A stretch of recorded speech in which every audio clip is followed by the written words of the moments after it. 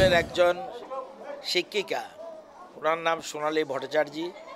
অনেক সোনা, অনেক, অনেকে সোনালী চক্রবর্তী বলেও ডাকে। উনি এই স্কুলে বেশ কিছুদিন ধরে চাকরি করছিল।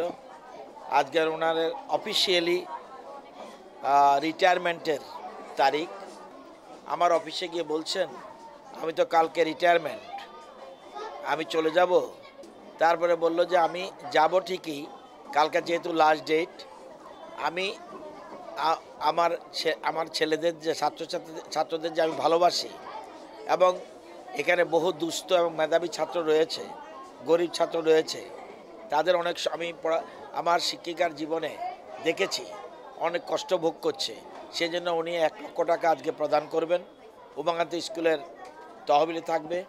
আমি ধলেশ্বর থেকে যখন আসি, ধলেশ্বরে আমি দীর্ঘদিন চাকরি করেছি, এখন যেটা কামিনী কুমার স্কুল, এটাতে আমি সতেরো বৎসর চাকরি করছি।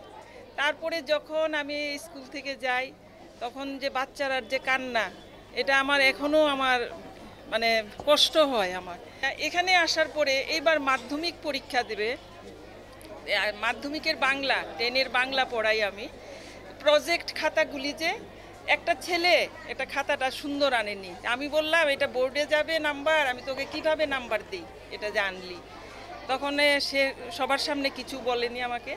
তারপর বলল যে, ম্যাম, আমার তো মানে প্রজেক্ট খাতা আমি কিনতে পারব। আমি বললাম যে, তোর লুকেই আমি, একশো টাকা আমি ওকে দিলাম। কিন্তু ওটা নেয়নি। লজ্জা হ্যাঁ? এই যে, এগুলি যে দেখি, আমার অনেক দিন ধরে এই একটা ইচ্ছা যে আচ্ছা তখন তো এটা তারা স্বাধীনভাবে এই টাকাটার থেকে নিতে পারব। তার জন্যই আমি এই দানটা করলাম